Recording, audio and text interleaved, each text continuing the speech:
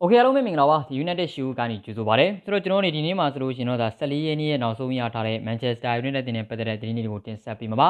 အာဒီနေ့မှာဆိုလို့ရှိရင်တော့ကျွန်တော်တို့ဒါတကယ်ကို United တင်ရဲ့ပြည်သက်တွေအတွက်မျှော်လင့်နေတဲ့သတင်းတချို့လည်းပါတယ်ဆိုတော့အဲ့ဒီသတင်းတွေကိုကြည့်ရရင်ဒီနေ့မှာပထမဆုံးအနေနဲ့တော့ဒါပေါ့နော်ကွင်းလင်ကစားမဖြစ်တဲ့ပေါ်ပေါ်ပါကို United အသင်းဘက်ကစာချုပ်တက်တန်းတူဖို့အတွက်အများကြီးအခွင့်အရေးရှိနေတယ်ဆိုတဲ့အကြောင်းနဲ့ပြီးခဲ့တဲ့နေ့တွေကတည်းပို့ပြီးတော့နှီးစက်မှုတွေရှိလာတယ်ဆိုတဲ့အကြောင်းဒါအပြင် Rashford ကလောလောဆယ်မှာ ကလပ်တင်းရဲ့ပေါ်တော့ဒီပေါ်လာမယ့်ယာတီအစ2လလောက်ကိုလွဲချော်ဖို့ဒါ10ပွဲလောက်ကိုလွဲချော်ဖို့ရှိတာကြောင့်နော်ကလပ်တင်းတာဝန်ရှိသူတွေက Rashford ရဲ့နေရာကိုတခြားအစားထိုးဖို့အတွက်ကစားမတယောက်ကိုရှာဖွေနေတယ်ဆိုတဲ့အကြောင်းဒီဟန်နာဆန်နဲ့ပတ်သက်လို့နောက်ဆုံးရဒဏ်ရာအခြေအနေဘာလို့လဲဆိုတော့ဌာနဆန်ကကျွန်တော်တို့အင်္ဂလန်လေရွေးစင်ကနေပြီးတော့ဒဏ်ရာပြဿနာကြောင့်နှုတ်ထွက်ခဲ့ရပြီးတော့ United မှာထွေးနေနေပြန်ဆင်းနိုင်နေတယ်ဆိုပေမဲ့ဗျာလာမယ့်ရာသီမှာပရီးမီးယားလိမှာစတင်ကစားဖို့အတွက်ကြံ့ခိုင်မှုအစင်းင်းဖြစ်ပြီလားမဖြစ်သေးဘူးလားဆိုတဲ့အကြောင်းတွေပေါ့နော်ဆိုတော့အဲ့အကြောင်းရဲ့ United အသင်းကတော့လောလောဆယ်ဒီယာဒီမှာ Declan Rice ကိုတန်း80လောက်တာပေးရင်အင်မတန်ကိုခေါ်နိုင်နေဆိုတဲ့အကြောင်းနဲ့ Western တင်းကလင်ကတ်ကိုခေါ်ကြည့်မိမဲ့ United က Western အဲလင်ကတ်အတွက်လူချင်းနဲ့တန်း30ကိုပေးချီဖို့အတွက်မတက်နိုင်ဘူးဆိုတဲ့အကြောင်းနဲ့ Christian Romero စတဲ့အကြောင်းတွေကိုညီတို့ကိုတင်ဆက်ပေးမှာပါဆိုတော့တဖြည်းဖြည်းနဲ့စိတ်ဝင်စားဖို့ကောင်းလာပြီဆိုတော့အဲ့ဒီတွေကမှပရိသတ်တွေမျှော်လင့်နေတဲ့ဒါကျွန်တော်တို့ကိုယ်တိုင်မျှော်လင့်နေတဲ့ဒါကွင်းလင်ကစားမှာဖြစ်တဲ့ပေါ်ပေါ်ပါပဲလက်ရှိမှာဆိုလို့ကျွန်တော်တို့ဒီသတင်းကိုတော့လက်ရှိမှာကျွန်တော်တို့ဒါဂျာနယ်လစ်တယောက်ဖြစ်တဲ့ Rudy Gallagher ကပြောထားတာပါသူကဘာပြောထားလဲဆိုတော့ မန်ချက်စတာယူနိုက်တက်တင်ရဲ့ကွင်းကစားမပြည်သူပေါ်ပေါ်ပါကိုလောလောဆယ်မှာယူနိုက်တက်တင်တာဝန်ရှိသူတွေကစာချုပ်တက်တန်းတူးနိုင်ဖို့အတွက်အများကြီးအခွင့်အရေးရှိနေတယ်။ဒါအပြင်သူ့ကိုခေါ်ယူမဲ့အသင်းတွေအတွက်လည်းယူနိုက်တက်အသင်းဘက်ကတန်း80တိ request လုပ်ထားခဲ့တာကြောင့်အဲ့ဒီယူရိုတန်း80ကိုပြီးပေါ်ပါအတွက်ပြီးချနိုင်တဲ့အသင်းဘယ်အသင်းမှမရှိဘူး။ဒါကြောင့်မနော်။တခြားကလပ်အသင်းတွေကိုရောင်းချဖို့တဲ့ကစားမဖြစ်သူကိုမန်ချက်စတာယူနိုက်တက်တင်က ဘော်ဒီဘော်ဒီဘော်ဒီဘော်လာစာတွေအများကြီးပေးချီပြီးတော့တက်တန်တူကောင်တူသွားနိုင်ပွဲရှိတယ်ဆိုပြီးတော့လက်ရှိမှာရူဒီခဲလက်တီကရေးထားတယ်ဆိုတော့ဒီသတင်းရကြည့်လို့ရှိရင်တော့အဲပေါ့နော်တခြားကလပ်တင်တွေကခေါ်ဖို့အတွက်မတက်နိုင်ဘူးယူနိုက်တက်ဘက်ကတက်တန်တူးနိုင်ဖို့အတွက်နီးစပ်နေတဲ့ဆိုတော့အနေထားတွေကိုကြည့်ရင်တော့ဒါဝမ်းသာစရာပဲဒါပေမဲ့ကျွန်တော်တို့ကအဲတိထားမှာတကူကပေါ့ပါကိုတက်တန်တူးလိုက်တာကဟုတ်ပြီလောက်ခလာစာကဘလောက်သွားမှာလဲပြီးလို့ရှိရင်အေဂျင့်ပြတဲ့မီနိုရန်အိုလာကိုဒီနေရာမှာအေဂျင့်ကြီးကဘလောက်ထပ်ပြီးတော့ပြီးဆောင်ရအောင်မှာလဲ ငါပင်ကစားမဖြစ်သူရဲ့ပေါ့နော်အလုံးစုံဥမာ9နှစ်တန်းနဲ့တူတယ်ဆိုလို့ချင်း9နှစ်တန်းပေါ့နော်အဲ့ဒီတန်းတစ်ချောင်းမှာပြီးချီရမယ်ကစားမရဲ့ပေါ့နော်ဒီပေါ့ဒီပေါ့ဘယ်လဲဒီဆွမ်းဆောင်ရေးကြီးတွေဘာတွေကဘလို့လာမှလဲဒါတွေကလည်းအရင်ရေးကြည့်တယ်အထူးသဖြင့်တော့ကျွန်တော်တို့ဘက်ကတတန်းတူးကျင်တာမှန်ပြီမဲ့ကစားမဖြစ်တဲ့ပေါ်ပွားကိုမှရတပတ်လောကလာစာပြီးချီမှုကအင်မတန်မြင်မာလွန်းနေတယ်ဆိုလို့ချင်းလည်းပဲကလပ်တင်းရဲ့အတင်းသားတွေကြမှာမလူလားအပ်တဲ့ပြဿနာတွေဖြစ်ကောင်းဖြစ်လာနေတယ်ဒါတွေကကျွန်တော်တို့မသိဘူးဒါတွေကအဝေးမှာဒါပေမဲ့အဲ့လိုတွေဖြစ်လာပြီဆိုလို့ချင်းများကလပ်တင်းကဘာဒီကအဝေးလဲကန်းနဲ့မှာဒီ ဒီပေါ်စီလုံးမှုတွေပြိုကွဲလာတာတွေနော်ကစားမတွေကခြေသွမ်းပြပြီးတော့လာစာအများကြီးမရလို့ကလပ်တင်ကနေထွက်ခွာခြင်းလာတာတွေကစားမတွေရဲ့ကြမှာစိတ်ဝမ်းကွဲလာဒါမျိုးတွေကျွန်တော်ကြုံကောင်းကြုံရနိုင်တယ်ကျွန်တော်ဘာမှကြိုပြောလို့မရဘူးဒါပေမဲ့လောစမှာတေချာတာကတော့ယူနိုက်တက်အတင်းရဲ့ကတောင်းဆိုထားတဲ့ပေါ်ပါအတွက်ယူရိုတန်း80ကို PSG အပါဝင်ဘဲကလပ်တင်ကမှပြီးချေနိုင်စွမ်းမရှိဘူးဆိုတော့စာချုပ်တရန်တူအတွက် United ဘက်ကပဲပူပြီးတော့အခွင့်တာနေတယ်ဆိုတဲ့သဘောပဲဒါပေမဲ့တကယ်တော့ PSG ဟာတန်း80မပြီးနိုင်တာမဟုတ်မပြီးကျင်တာဗျာရှင်းရှင်းလေးသူတို့ကလပ်တင်မှာ တန်း80ဆိုတာက PSG အတွက်များတယ်လို့မခေါ်ဘူးเนาะ PSG လိုမျိုးကဒီပေါ်ငွေပုံဖင်ခုထိုင်ရတဲ့အသင်းမျိုးအတွက်တန်း80ဆိုတာကပါပါလေးပဲဒါပေမဲ့အမှန်တကယ်သူတို့တွက်ချက်ရမှာကလည်းသူတို့ဘက်ကလည်းဒီပေါ် FFP စီမီနဲ့လူဖို့ကလပ်တင်းရဲ့ဝင်ငွေထွက်ငွေတွေပေါ့နော်ဒီ flow တွေညီဖို့ balance မျှဖို့အတွက်သူတို့တွေတခြားတင်းတွေကိုဥပမာယူထားတယ်နော်ဘာစီလိုနာတို့ရီယဲတို့ဂျူဗင်တက်တို့ဖြစ်မှာဆိုလို့ကစားမတွေကိုလူချင်းတော်လည်းပဲသူတို့အနေနဲ့ပေါ့အာတက်နိုင်ဆုံးဝင်ငွေထွက်အထွက်ငွေတွေကို short ချနေတယ်ကစားမတွေရဲ့ပြီးချရမယ်လောက်ခလာစာတွေကိုအတက်နိုင်ဆုံး short ချနေစဉ်တော့တွေမှာ ပေါ့ပါကိုလူချင်တာမှန်ပြီမဲ့ဗျာတန်း80ဆိုတဲ့ခါကျတော့သူတို့ကပေးချေခြင်းစိတ်မရှိတဲ့ပုံမှာကျွန်တော်တွေ့ရတယ်ဆိုတော့ဘာဖြစ်ဖြစ်ကျွန်တော်တို့ကဘောနော်ပွင့်လက်ကစားမပေးတဲ့ပေါ့ပါကိုတန်း80တီတောင်းဆိုထားတဲ့ဘေကလတင်ကမှစိတ်ဝင်စားတာတဲ့ပူပြီးတော့လှုပ်ဆောင်နေဆိုမရှိကြသေးဘူးခုချိန်ကြီးဆိုတော့တေချာပါတဲ့ကစားမဖြစ်တဲ့ပေါ်ပါကို United ဘက်ကပဲတက်တန်းတူးနိုင်မှုနဲ့နီးစက်နေတယ်အဲ့လိုမျိုးနီးစက်နေစဉ်တော့ဒီမှာလဲကစားမဖြစ်တဲ့လောက်ခလာစာကကျွန်တော်တို့တပတ်လောက်ခလာစာပေါင်၄သိန်းဆိုတဲ့ပမာဏဒီအလွန်ဆုံးကြားထားရတယ်။နော်ရော့စင်မှာဆိုလို့ချင်းတော့ပေါ်ပါက2သိန်းနဲ့9,000ရတယ် ကျွန်တော်တို့တက်တန်းတူးလိုက်မယ်ဆိုလို့ချင်းသိကြတဲ့အနည်းဆုံးတော့သူ့ရဲ့လောက်ခလာစာကတပတ်ကိုပေါင်3သိန်းခွဲလောက်ထိသွားနိုင်မယ်3သိန်းခွဲနဲ့ကျွန်တော်တို့4သိန်းကြားမှာပဲပေါ့ပါရဲ့လောက်ခလာစာကရှိတယ်ဆိုတဲ့ခါကျတော့ကျွန်တော်တို့အဲ့ဒီ3သိန်းခွဲကိုဗျာတပတ်လောက်ခဆိုလို့ချင်းညီကိုဒါပေါ့တက်ပေါ့ဒီပေါ့နော်တလားဆိုလို့ရှိရင်ပေါ့၄ဘက်ဒါဘယ်လောက်ရှိမလဲပြီးလို့ချင်း12လထက်မြောက်အဲ့ဒီ12လကမှကစားမဖြစ်သူကိုကျွန်တော်တို့ကဘယ်နှစ်နှစ်တက်တန်းတူးတာလဲ3နှစ်လား5နှစ်လားအဲ့ဒီ9နှစ်တက်တန်းကိုလည်း9နှစ်လို့ထက်မြောက်လို့ရှိရင်ကစားမကိုပြီးချရမယ်လာစာကတန်းစေကြီးသွားနေတယ်ဆိုတော့ဘယ်လိုပဲဖြစ်ဖြစ် ကစားမဖြစ်တဲ့ပေါ့ပါလို့ကစားမမျိုးကိုကျွန်တော်တို့ကတက်တန်းဟောဘာလို့ဒီပေါ့အစားထိုးခေါ်ယူဖို့အတွက်ကစားမရှားတာမှန်ပြီမဲ့မတရားသဖြင့်လာစာကြီးကြတော့လေပြီးချီဖို့ကတိတ်တော့ကလတင်တွေမှာမဖြစ်တင်ဘူးပေါ့ဗျာသိတယ်မလားဆိုတော့ဘာဖြစ်ဖြစ်ထားပါလားရှိမှာရူဒီကယ်လက်တီကတော့ United တင်ရဲ့ကွင်းလက်ကစားမပြီးသူပေါ့ပါကို United ဘက်ကသတ်မှတ်ထားတဲ့တန်း80ဘယ်အသင်းကမှပေးချီဖို့အတွက်အဆင်သင့်မဖြစ်တာကြောင့်ကလပ်တင်းဘက်ကပဲတဒန်းတူးနိုင်မှုအတွက်အနေထားကပူကောင်းနေတယ်ဆိုပြီးတော့သိရတယ်လို့တဒန်းတူးနိုင်ခင်ပဲဆိုလို့ရှိရင်လည်းကစားမရဲ့လောက်ခလာတာကိုတန်း10ကြီးပေးရနိုင်ပွဲရှိတယ်လို့ကျွန်တော်သိရတယ်ဆိုတော့ထားပါ လက်ရှိမှာဆိုလို့ကျွန်တော်ဒါကပေါ့ပါโอเคဆိုတော့အဲနောက်တစ်ခုကိုကျွန်တော်ကြည့်ရမယ်ဆိုလို့ကျွန်တော်ဒါပါလဲဆိုတော့အာဒါပါလဲဆိုတော့လက်ရှိမှာ Rashford ရဲ့ပတ်သက်လို့ United အသင်းရဲ့ပေါ့ဒီအနေထားပေါ့ဒါပါလဲဆိုတော့ Manchester United တင်ရဲ့ဘက်ကကျွန်တော်တို့ကမနက်ကတင်ဆက်ပေးခဲ့တဲ့တင်မှာညီကတို့ကိုပါပါတယ်ဒါပါလဲဆိုတော့ Rashford ပေါ့နော် Rashford ကိုကျွန်တော်တို့ကလက်လွတ်ရမယ် Premier League ပွဲစဉ်10ပွဲ UCN ဆိုတဲ့ပေါ့နော် UEFA Champions League ပွဲစဉ်3ပွဲနဲ့အင်္ဂလန်လက်ရွေးစဉ်တင်ရဲ့2022ခုနှစ်ကမ္ဘာဖလားခြေစစ်ပွဲ5ပွဲဒီပွဲစဉ်တွေကိုအတီးတီလွဲချော်မယ် Premier League ရဲ့ပထမဦးဆုံး2လကိုကျွန်တော်တို့ဒါပေါ့နော်အဲ့ဒီကာလတစ်ခုတာတွင်ကျွန်တော်တို့က Rashford ကိုလက်လွတ်ထားရမယ်ဆိုတော့ဦးဒီကနာဆိုးချအနေနဲ့ Rashford မပါတဲ့ပွဲစဉ်တွေမှာသူဘယ်လိုမျိုးတွေကစားမတွေကိုပွဲထုတ်လာမယ်ဒါတွေအင်မတန်ရေးကြည့်တယ်ဆိုတော့အဲ့လိုမျိုးလေးဖြစ်လာရော Manchester Evening News ရဲ့ writer ဖြစ်တဲ့ Richard Fee ကရေးသားထားတာက United ဟာ Marcus Rashford ကိုခေါ်ယူ Marcus Rashford ကိုလက်လွတ်ထားရတဲ့အတော်တွင်မှာ ကစားမဖြစ်သူရဲ့နေရာမှာအစားထိုးနိုင်ဖို့အတွက်ရေရှည်လက်အသုံးပြုလို့ရနိုင်မယ့်ကစားမတစ်ယောက်အတွက်ယူရိုအနည်းဆုံးတန်း60လောက်ထပ်သုံးဖို့အတွက်ရည်ရွယ်ထားတယ်ဆိုပြီးတော့ရေးသားထားတယ်ဆိုတော့ကျွန်တော်ပြောချင်တဲ့နေရာဒီမှာခုရှိတယ်ကျွန်တော်တို့က Rashford အကယ်၍ကျွန်တော်တို့ကအဲ့ဒီကစားမကိုဘယ်သူလဲဆိုတာတော့လောလောဆယ်မှာမသိသေးဘူးအဲ့လိုပဲသတင်းထွက်လာတာဒါပေမဲ့ပြောချင်တာကဗျာဟို Manchester မြို့ခံအခြေစိုက်တဲ့ Manchester Evening News ကရေးထားတာတော့ဒါပေမဲ့ကျွန်တော်ပြောချင်တာကအကယ်၍ခေါ်လိုက်ပါပြီတကယ်ကျွန်တော် Rashford ပြန်ကောင်းလာရင်အဲ့ဒီကစားမဘယ်ရောက်သွားမှာတော့ ဟောအညာချမ်းကိုပို့မှပြောရတယ်။နာညာချမ်းကိုလည်းပို့မြောက်ဆန်ချူရှိတယ်နော်83သန်းနဲ့ကစားမကိုအရန်ကုန်ထားဖို့ဆိုလို့ရှိရင်တော့ United တင်းရဲ့တောင်းရှိသူတွေဒါအုံနောက်မရှိလို့ပဲဖြစ်ရမယ်သိတယ်မလားဆိုတော့ပြောချင်တာကဗျာကျွန်တော်တို့ကလပ်တင်းမှာ Rashford မရှိတဲ့ကာလာအတိုးတွင်းမှာအနှဲငယ်တော့စွန့်စားရမှာပဲဒါဘာလို့လဲဆိုတော့ကျွန်တော်တို့ link ကိုလည်းဆက်လက်ထားဖို့ကအဆင်မပြေဘူးနော် link ကိုလည်းဆက်လက်ထားဖို့ကအဆင်မပြေဘူးဆိုတဲ့အနေအထားမျိုးတွေမှာကျွန်တော်တို့မှာကအာမက်ဒီယာလိုရှိတယ်အာမက်ဒီယာလိုကဟုတ်တယ်ညာချက်မှာကစားရတာအဆင်မပြေဘူးဆိုတော့ကျွန်တော်ဆန်ဂျူကဘဲချမ်းသွားကစား ဒီပေါ်တော့ဒီပေါ်အာမက်ဒီယာလိုကညာချမ်းကစားပေါ့ဆိုတော့အဲ့လိုမျိုးကျွန်တော်တို့မှာတော့အချိန်ပေးပြီးတော့စွန့်စားမှာရှိတယ်အဲ့လိုမျိုးကစားတဲ့အခါမှာကျွန်တော်ပြည်သက်တွေအနေနဲ့လည်းအာမက်ဒီယာလိုကိုပေါ့နော်စပုတ်ထွက်ထွက်ခင်မှာကျွန်တော်တို့ဒါအာလုံးဝကြီးအာပါဒါဟာဂိုးတွေသွင်းလိုက်မယ်ဖန်တီးမှုတွေလုပ်လိုက်မယ်ဆိုပြီးတော့မျှော်လင့်ထားလို့ကမရဘူးကစားမလေးကပရီးမီးယားလိမှာဘယ်လောက်မှကစားထားရသေးတာမဟုတ်ဘူးဆိုတော့ပြောချင်တာက United က Rashford ကိုလက်လွတ်ထားရတဲ့ကာလာတိုးတင်မှာတခြားကစားမကိုဘောရတန်းဆယ်ကြီးပြပြခေါ်ယူတယ်ဆိုတာတဲ့ကုကလတင်မှာအမှန်တကယ်အလားလာကောင်းတဲ့ကစားမတွေကို Rashford မပါနိုင်တဲ့အလားတိုးတွေမှာ ကျွန်တော်တို့စွန့်စွန့်စားစားနဲ့အဲ့ဒီကစားမတွေကိုနေရာပေးခဲ့မယ်ဆိုလို့ရှင်ရောကျွန်တော်တို့ဘယ်လောက်ထိတော့မှဒါပေါ်တော့ဒီကအပြောင်းလဲတွေမြင်တွေ့ရလိမ့်မယ်ဒါဟာဖြစ်တဲ့ဖြစ်တတ်တာပဲကစားမအသစ်ခေါ်ယူဖို့ဆိုတာတဲ့ကျွန်တော်ကတော့တကယ်ကူပေါ့နော်ဟိုမေဆန်ဂရင်းလို့ရှိရဗျာဒန်နီယယ်ဂျိမ်းစ်လို့ရှိတယ်ဂျိမ်းစ်ကအမှန်တမ်းပြောလို့ရှိရင်တော့ကျွန်တော်တို့အများကြီးသူ့ကိုတော့မိခိုးလို့တော့မရဘူးเนาะပြောချင်တဲ့သဘောတရားကအဲ့ဒါကြောင့်လေဒီကစားမကိုကျွန်တော်တို့ကပြောမယ်ဆိုတာဒါအာမက်ဒီယာလိုကိုပဲပို့ပြီးတော့ဦးစားပေးပြောကြတာဆိုတော့ဒါပေမဲ့ဗျာဒါပေမဲ့ဗျာเนาะပြောချင်တဲ့သဘောတရားကအိုလီဂနာဆူရှာဘက်ကလည်းစဉ်းအောင်စဉ်းစားနိုင်မှာอืมယာဒီစကလည်းငါကတော့ နော် Rashford ကတော့မပါဘူးလှပြီပွဲကတော့တည်မလားငါမှ Sancho နဲ့ Rashford နဲ့ပွဲအားကစားညီမတို့လှပြီအေးအဲ့လိုမျိုးတွဲလိုက်လို့ရှိရင်လေ Sancho ကအာမပါလို့နော်တခြားကစားမတယောက်ကိုမခေါ်ဘဲနဲ့နော်ငါတော့ဒီအာမက်ဒီယာလိုတွေကိုပွဲထုတ်ခွင့်ပေးလိုက်မယ်ဆိုလို့ရှိရင်ဒီကစားမကတွဲလို့လို့ရှိရင်ငါတော့ဒီစီမှာကျရင်ထုတ်ခံမှာဆိုတဲ့အတွေးမျိုးသာဝင်ခဲ့မယ်ဆိုလို့ရှိရင်မဖြစ်မနေဆိုလို့ဦးလီဂနာဆွေးချကကစားမတောင်းဆောင်ကောတောင်းဆိုသွားနေတယ်ဒါပေမဲ့ကျွန်တော်တို့မှာကဝင်ငွေထွက်ငွေမျှဖို့လိုတယ်သူသဖြင့်ကလပ်တင်းမှာအသုံးလိုတဲ့ကစားမတွေကိုတယောက်မှရောင်းချနိုင်ခြင်းမရှိသေးတဲ့အနေအထားကိုကြည့်ရင် ကျွန်တော်တို့ကလောလောဆယ်မှာကျွန်တော်တို့မှာကထွက်ငွေတွေပဲရှိပဲဆန်ချိုအတွက်83တန်းထွက်သွားပြီဒါအပြင်ပေါ်ပါကိုတရန်တူရမှာလဲတပတ်လောက်ကလာကကိုပေါင်3သိန်းခွဲအနည်းဆုံးထွက်ဖို့ရှိတယ်ဒါအပြင်ကျွန်တော်တို့က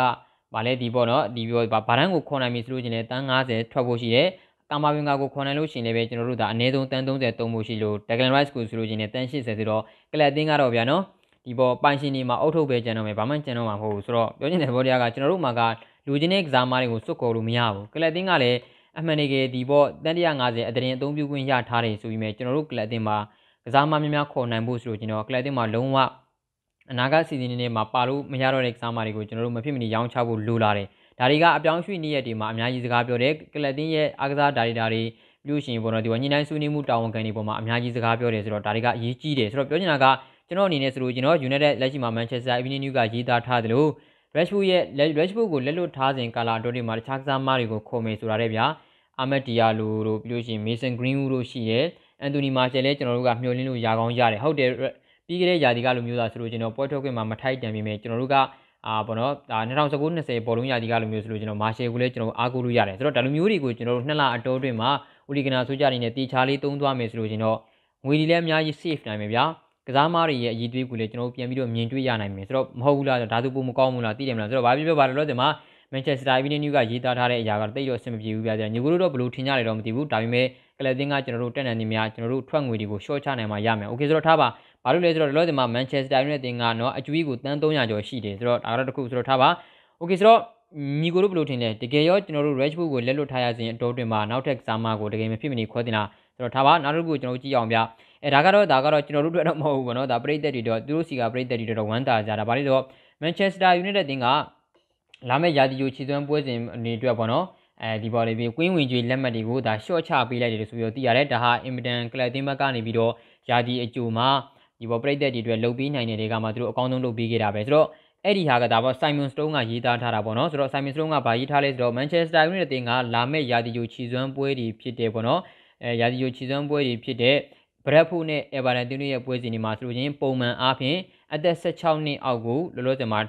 ပေါင်30ပေါင်သတ်မှတ်ထားပြီးတော့အဲ့ဒီအထက်ကြီးတဲ့ကစားမကြီးတဲ့ပြည်သက်တွေဆိုလို့ချင်းတော့ပေါင်30ထိသတ်မှတ်ထားတယ်ဒါပေမဲ့လောလောဆယ်မှာနော်16နှစ်တဲ့ကြီးတဲ့ဒါပေါ့နော်ပွဲကြီးကျူးတီတွေကိုလောလောဆယ်မှာပေါင်20ထိရှော့ချပေးခဲ့ပြီးတော့16နှစ်အောက်ဆိုလို့ချင်းတော့ကျွန်တော်တို့ free ဝင်ရောက်ကြည့်ရှုခွင့်ရမှာဆိုပြီးတော့လက်ရှိမှာ Simon Stone ကရေးသားထားတယ်ဒါအပြင်အဲ့လိုမျိုးဈေးမလျှော့ခင်မှာဝယ်မိခဲ့တဲ့ ပရိသတ်တွေရှိပါကလည်းသူတို့အနေနဲ့ဘာသာ premium အနေနဲ့ premium executive seat တွေပေးသွားမယ်ပေါ့နော်ဆိုတော့အဲထိုင်ကုန်အထူးအထူးထိုင်ကုန်တန်းမှာပေးသွားမယ်ဆိုပြီးတော့ကျွန်တော်သိရတယ်ဆိုတော့ပဒါအပြင်ဘောအများကြီးပို့ပြီးတော့ပေးမိခဲ့အာပို့ပြီးတော့ဘောနော်ဒီဝယ်ယူခဲ့မိတဲ့ငွေတွေကိုလည်းပြောပြီးတော့ refund လုပ်သွားမယ်ဆိုပြီးတော့သိရတယ်ဒါကတော့သူတို့စီကပရိသတ်တွေတော့ဝမ်းသာစရာပေါ့ဆိုတော့ထားပါအဲဒါကတော့တခု ဒါတော့ဒါ pre season game တော့ဗောနော်ဒါ pre season game ဖြစ်တဲ့ Everton နဲ့ဒါပေါ့ဒီ Brentford တင်လို့နဲ့ကစားမဲ့ပွဲစဉ်တွေအတွက်ပါ Okay ဆိုတော့နောက်တစ်ခုသွားရအောင်ဗျဒါပါလဲဆိုတော့ Manchester United တင်ဟာဆိုလို့ရှိရင်ကျွန်တော်တို့ဗောနော်ဒီပေါ့ဒီဟန်နာဆန်ရဲ့အနေထားနဲ့ပတ်သက်ပြီးတော့ပို့ပြီးတော့ကောက်မွန်တဲ့အနေထားတွေကိုကျွန်တော်တွေ့ရတယ်ဆိုပြီးတော့သိရတယ်ဒါကိုတော့လောလောဆယ်မှာဆိုလို့ချင်းဒါ Richard Fee ကရေးသားထားတာပါကျွန်တော်တို့အားလုံးသိခဲ့တဲ့အတိုင်းပဲယူရို2020ပြိုင်ပွဲမှာအင်္ဂလန်လက်ရွေးစင်မှာရွေးချယ်ခံခဲ့ရတဲ့ဒီဟန်နာဆန်ကဒဏ်ရာပြဿနာကြောင့်နှုတ်ထွက်ခဲ့တယ်အဲ့လိုနှုတ်ထွက်ခဲ့အပြီးမှာဒါဒဏ်ရာပြဿနာဆိုတဲ့အခါကျတော့ကလပ်တင်မှာလည်းသူက အဲ့ဒီဒဏ်ရာကိုပြန်ပြီးတော့ကောင်းမွန်ဖို့တဲ့အချိန်လေးနဲ့ပေးခဲ့ရတယ်အဲ့ဒီအချိန်ပေးခဲ့ရတဲ့အတိုးတွေမှာကစားမဖြစ်သူကကလပ်တင်တဲ့လူလေးချင်းကန်တွေလည်းပြန်ဆင်းနိုင်နေပြီးအဆင်ပြေနေပြီးတော့ကျွန်တော်တို့ကြားသိရပြီမဲ့လာမယ့်ယာဒီပရီးမီးယားလိပွဲစဉ်တွေမှာပွဲထွက်ခွင့်နဲ့ဖမ်းနိုင်ဖို့အတွက်ကျွန်တော်တို့ကြမ်းဘော်ဒီမှာပြည်စုံတဲ့ကြမ်းခံမှုမျိုးကိုတောင်းတင်းတဲ့ကြမ်းခံမှုမျိုးကိုရရှိပြီလားဆိုတာကလည်းလောဆယ်မှာမသိကြသေးဘူးဒါပေမဲ့ပြီးခဲ့တဲ့နေ့တွေကလည်းဒီဟန်နာဆန်ကအများကြီးပို့ပြီးတော့ကောင်းလာပြီဆိုပြီးတော့ကျွန်တော်သိရတယ်ဆိုတော့ဘာပဲဖြစ်ဖြစ်ဟန်နာဆန်ကိုဒီဂီယာကိုလာမယ့်ယာဒီမှာ ဘယ်သူကနံပါတ်1ဖြစ်ပွဲထွက်ခွင့်ရမလဲကျွန်တော်တို့စောင့်ကြည့်ရမယ်ဆိုတော့ဘယ်လိုပဲဖြစ်ဖြစ်ပါတော့ဒီမှာတော့ကစားမပေးတဲ့ဒီဟန်နာဆန်ကိုရန်ဒန်ယာကပြန်လည်တက်တာလာခဲ့ပြီဆိုတာကြောင့်အင်မတန်ဝမ်းသာကြပါဆိုတော့เนาะဒါကတော့အင်မတန်ကိုကလပ်တင်တဲ့ဝမ်းသာကြပါเนาะနီးပြပြတဲ့အိုလီဂနာဆူရှာအနေနဲ့ကိုသမားဖြစ်သူနှစ်ယောက်ကိုဘသူကိုပွဲထုတ်ခွင့်ပေးပြီးတော့ဘသူကိုဦးစားပေးသွားမလဲဆိုတာကလည်းအများကြီးခေါင်းကိုက်စရာဖြစ်လာတယ်ဆိုတော့ဒါကတော့အိုလီဂနာဆူရှာရဲ့ဆုံးဖြတ်ချက်တွေကိုကျွန်တော်တွေ့ရတော့မယ်ဆိုတော့ဒါကတော့ဒါဒင်းဟန်ဒါဆန်နဲ့ပတ်သက်ပြီးတော့ဒါတင်းလေးပေါ့နော်အဲနောက်တစ်ခုကိုကျွန်တော်ဆက်လက်ကြည့်ရမယ်ဆိုလို့ကျွန်တော် Manchester United တင်က Declan Rice ကိုအမေရိကန်ခေါ်ယူဖို့ကျူးပန်းမယ်ဆိုလို့ချင်းဒီနွေအပြောင်းရွှေ့မှာယူရိုတန်း80လောက်နဲ့ရနိုင်တယ်ဆိုတော့ကျွန်တော်သိရတယ်ဒါကတော့ Euro Sport ကဖော်ပြထားတာပေါ့နော်ဒါဟာအင်မတန်ကိုကျွန်တော်တို့အဲ reliable ဖြစ်တဲ့ source တွေလို့ကျွန်တော်တို့ပြောရမယ်ဆိုတော့ဘာပဲဖြစ်ဖြစ်လောကျွန်မ Declan Rice ကိုကျွန်တော်တို့ကအင်မတန်လိုတယ် Declan Rice ဆိုတာတဲ့ defensive midfielder လိုတယ်လို့ပြောရင်ပုံမှန်ပဲပေါ့နော်ဆိုတော့ defensive midfielder လိုတယ်ဆိုပေမဲ့လက်ရှိကလပ်တင်းကဦးစားပြီးကျူးပန်းနေတာဒီကာမာဗန်ကကာမာဗန်ကဟာလည်းအည်သွေးပြည့်တဲ့လူငယ်လေးတစ်ယောက်ဖြစ်တယ် ဒါပေမဲ့ကလပ်တင်းကိုရောက်လာတဲ့အခါမှာ Declan Rice လိုမျိုးချက်ချင်းအသုံးပြုလို့ရပါမလားဆိုတာကလည်းကျွန်တော်တို့ကလပ်တင်းမှာ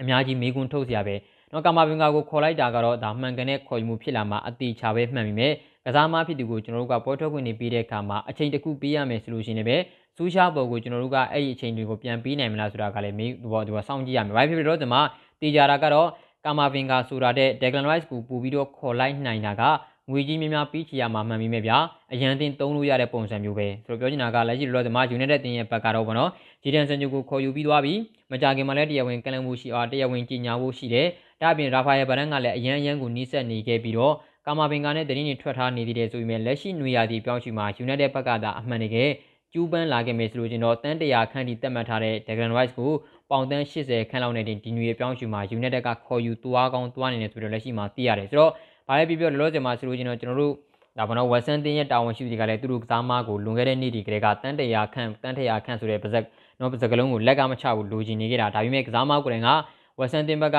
ကန့်လန့်မှုတွေကိုသူကိုယ်တိုင်ပယ်ချထားတယ်ဒါအပြင်အတင်းပြောင်းညင်တယ်လို့လည်းသူကိုယ်တိုင်ပြောဆိုထားတယ်ဆိုတဲ့အခါမှာချယ်ဆီကိုသူ့ဘက်ကအမှန်တကယ်ပို့ပြီးတော့စိတ်ဝင်စားတာမှန်ပေမဲ့လွန်ခဲ့တဲ့နေ့တကယ်ချယ်ဆီကဟာလန်ကိုပဲတန်150ပြပြီးတော့ခေါ်ယူဖို့ကြိုးပမ်းတဲ့အခါမှာ80ဆိုတဲ့ Declan Rice တွေသူတို့သုံးမှုအတွက်အဆင်မပြေတော့ဘူးဆိုတော့ဘာပဲပြောပြော Manchester United ရဲ့ဘက်ကအများကြီးအခွင့်အရေးရှိလာတယ် ဒီအခွင့်အရေးကိုကကလပ်တင်တောင်ယူတွေဘယ်လိုမျိုးတွေအသုံးချသွားမလဲဆိုတာကစိတ်ဝင်စားကြပဲကျွန်တော်တို့ယူရိုပြိုင်ပွဲတစ်လျှောက်နော်ဒက်ဂရိုက်စ်ကိုဘယ်လောက်ထိကျွန်တော်တို့အသင်းမှာလိုအပ်လဲဆိုတာသိနေပြီပဲဗျာဟုတ်တယ်မလားဆိုတော့ဘာဖြစ်ဖြစ်ပါဒက်ဂရိုက်စ်ကိုခေါ်ယူဖို့အတွက် United တင်မှာကတန်း80ပြီးရင်ရသွားနိုင်မယ်နေထားဆိုတော့အရန်ကူတော့စိတ်ဝင်စားဖို့ကောင်းနေပြီတကယ်ကိုလူချင်းနေဗျာနော်ကျွန်တော်ကတော့ကလပ်တင်မှာလူချင်းနေတာ Maverick ဆိုတာတွေဗျာဒက်ဂရိုက်စ်တယောက်တွေကအများကြီးပို့ပြီးတော့အာကလပ်တင်မှာအသုံးကျမယ်ဆိုတော့ Rice ရောက်လာတာနဲ့ပေါ်ပါကိုလည်းကျွန်တော်တို့ကတက်တန်းတူဖို့အတွက်အများကြီးအများကြီးအခွင့်အရေးရသွားပြီ defensive ကလည်းပို့ပြီးတော့လုံခြုံလာမယ်ကွင်းလေကစားပုံကလည်းအချိတ်ဆက်တွေပိုရှိလာပြီးတော့တိုက်စစ်လိုက်ပါမှုတွေကလည်းအများကြီးအခွင့်အရေးဖန်တီးမှုတွေကျွန်တော်ကြုံလာရမယ်ဒါတွေက defensive midfielder တယောက်ကိုခေါ်လိုက်နိုင်တယ်ရလာမယ်လုံးဝကိုဒါ benefit တွေပဲဆိုတော့ထားပါလက်ရှိမှာ United ဘက်ကအမှန်တကယ်ကျူးပန်းဖို့ပဲလိုတယ် United ဘက်ကတကယ်တကယ်ကိုခေါ်ယူခြင်းသိရှိဖို့ပဲလိုတယ်အမှန်တကယ်သာကျူးပန်းရင်တန်း80လောက်နဲ့ပဲရနိုင်မယ်ဆိုပြီးတော့လက်ရှိမှာ Eurosport ကရေးထားတယ်ဆက်လက်ဆောင်ကြည့်ရပါမယ်အမှန်တကယ်မဖြစ်မနေခေါ်ယူရမယ့် defensive midfielder ပါ Okay ဆိုတော့နောက်ထပ်ဆက်လက်ကြည့်ရမယ်ဆိုတော့ကျွန်တော်ကျွန်တော်တို့ဒါ Jesse Lingard ပါ အားလုံးလည်းသိတဲ့အတိုင်းပဲ Lingard ကို Manchester United တင်ဘက်ကရောင်းချခြင်းတယ်တရားဝင်ပေါ့နော်ဒီပေါ့ Lingard နဲ့ United တင်တာဝန်ရှိသူတွေရဲ့ကြားမှာအနာဂတ်နဲ့ပတ်သက်လို့သူတို့ဘာမှဆွေးနွေးထားတာတွေမရှိသေးဘူးဆိုပြီးမြဗျာလက်ရှိလောလောဆယ်နေထားတွေကတော့တရားတွေသူ့ကိုရောင်းချခြင်းတယ်ဆိုတော့ United ဘက်ကတန်း30ကြီးတက်မှတ်ထားတယ်လက်ရှိဒီ Lingard ကိုခေါ်ဖို့ကျူးပန်းနေတဲ့ထဲမှာထိတ်ဆုံးကပြစ်မှတ်ထားနေတာဒီ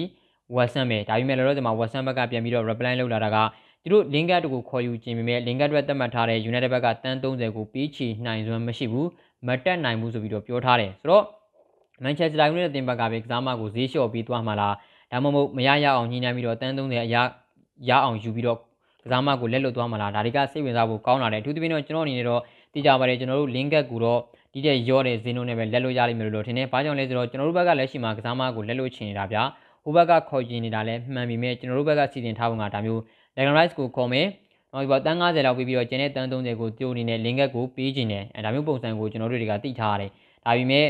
ဝက်ဆန်တင်ရဲ့ဘက်ကလည်းကစားမဖြစ်တဲ့တန်း30ကိုမတက်နိုင်ဘူးဆိုတဲ့အနေအထားမျိုးတွေမှာဒီအရာကိုလည်းသူတို့လက်ခံမှုမရှိဘူးဆိုတော့ဘာဖြစ်ဖြစ်လို့တော့ဒီမှာဝက်ဆန်တင်တာဝန်ရှိတွေကတော့ link ကိုမတက်နိုင်ဘူးဆိုတဲ့အတွက်စူထားတာကြောင့်ကျွန်တော် Manchester United တင်ကရောဈေးလျှော့လာမလားဒါမှမဟုတ်တော့ဝက်ဆန်တင်ဘက်ကပဲအမှန်တကယ်တန်း30ပြီးပြီးတော့ခေါ်သွားမလားဒါမှမဟုတ်မခေါ်ဘဲနဲ့ကစားမက United မှာဆက်ရှိမလားစောင့်ကြည့်ရမှာလည်းဖြစ်ပါတယ်။ Okay ဆိုတော့ဒါကတော့တခုအဲနောက်ဆုံးတစ်ခုကိုကျွန်တော်တို့ကြည့်ရမယ်ဆိုလို့ကျွန်တော်လက်ရှိမှာကျွန်တော်တို့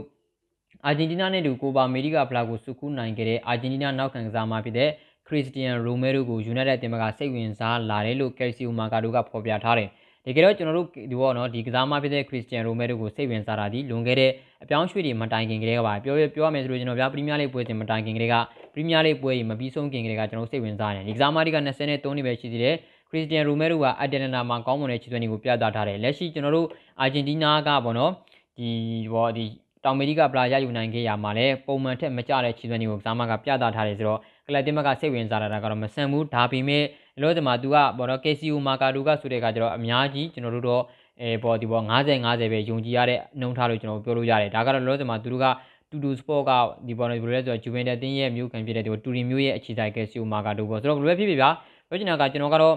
ဒီပေါ်ခရစ်စတီယန်ရိုမဲရိုကိုတော့အာယုံမဆိုင်စီခြင်းမို့လေလို့ဒီမှာဟုတ်တယ်စိတ်ဝင်စားမှုတွေရှိလာကတော့မှန်တယ်ဒါပေမဲ့ကျွန်တော်တို့ဘက်ကဘယ်တော့တိုင်းတာတစ်ခုထိစိတ်ဝင်စားလာတယ်ဆိုတာကလည်းကျွန်တော်တို့ကြည့်ရမယ်လောလောဆယ်မှာဆိုလို့ကျွန်တော် United ဘက်ကလုံးဝကိုမဖြစ်မနေခေါ်ဖို့ကြိုးပမ်းနေတာဒီကျွန်တော်တို့အားလုံးသိတဲ့အတိုင်းပဲ Rafael Varane ဆိုတော့ရိုမဲရိုကိုတော့အများကြီးစိတ်ဝင်စားမှုတွေရှိလိမ့်မယ်လို့မထင်ပါဘူးဆိုတော့ထားပါအညီကတို့အနေနဲ့ရောဘယ်လိုထင်ကြလဲ ခရစ္စတီယန်ရိုမဲရိုကိုကျွန်တော်တို့အမှန်တကယ်ခေါ်ယူသင့်လားဒါမှမဟုတ် Declan Rice ကိုရောကျွန်တော်တို့ဘက်ကမရရအောင်တန်း80လောက်နဲ့ရတာဒီတကယ်ရောတင့်တော်တဲ့ဇင်းလုံးလို့ထင်လားဘယ်လိုထင်လဲ comment လေးမှာညီကတို့ဝင်ရောက်မှတ်ချက်ပြီးတော့ကြပါကဲဆိုတော့လက်ရှိဒီယာတွေကတော့ဒီနေ့မှရရှိထားကြတဲ့နောက်ဆုံးရထားတဲ့ Manchester United နဲ့ပတ်သက်တဲ့သတင်းတွေကိုတင်ဆက်ပေးကြတာပါဒီနေ့မှာညီကတို့စိတ်ဝင်စားဖွယ်ရာသတင်းတွေပါဝင်သွားနိုင်လိမ့်မယ်လို့မျှော်လင့်ပါတယ်ဆိုတော့ကြီးစုအားပေးကြတဲ့ညီကိုများအားလုံးကိုကျေးဇူးတင်ပါတယ်နောက်ရက်ဒီမှာဆက်လက်တွေ့နိုင်ဖို့မျှော်လင့်ပါတယ်ဗျအားလုံးကိုကျေးဇူးပါအရေးတော်ပုံအောင်ရမည်